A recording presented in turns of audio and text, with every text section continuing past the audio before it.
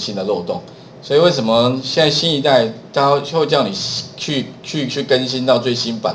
不然你用 IE 的旧版，你会发现很容易什么？很容易被绑架，没有？很，我不知道各位 IE 的以前用 IE 动不动就没事，也好像没有上什么大陆网站，好，你会发现很容易，奇怪一开起来怎么都大陆网站的，而且很多都是色情网站，有没有？为什么？因为它就是 把你的那个 IE 的设定给改了，哈，所以这部分的话，当然。在 HTML 第五代的语言，它它第五代的规范，它就是不用 cookie 的，所有东西都帮你存在这个叫 local storage 里面，好，然后最大的空间可以五 M，其实五 M 可以存太多东西了。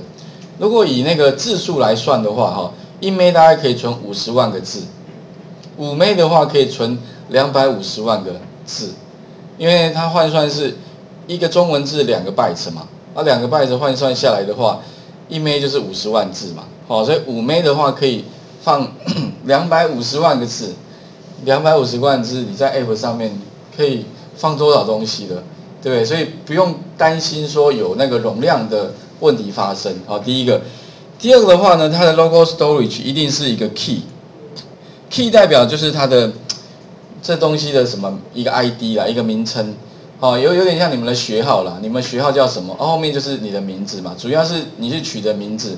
那这个 ID 通常是不能重复的啦，就是一个 key 嘛，key 的话就是唯一的哈。然后 value 的话就是里面的资料内容，所以一定是一个 key 一个 value，所以通常是一个一个萝卜一个坑嘛，反正对应的关系哈，大概是这样。那如果说我今天呢要 要怎么样呢？要储存的话，特别重要，其实。各位要能够知道，就是两个了，哈，一个是存资料，一个是读资料。所以呢，在那个无论是 Java 或者是其他的程式语言都一样，一定会有一个 set，set 什么东西了？